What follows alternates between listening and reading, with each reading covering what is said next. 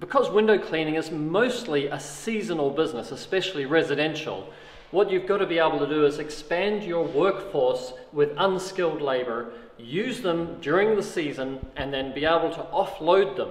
You don't want to be responsible for their mortgage, their family, for the guys that are just helping you in the seasonal work. Your full-time guys are completely different. They become your crew leaders.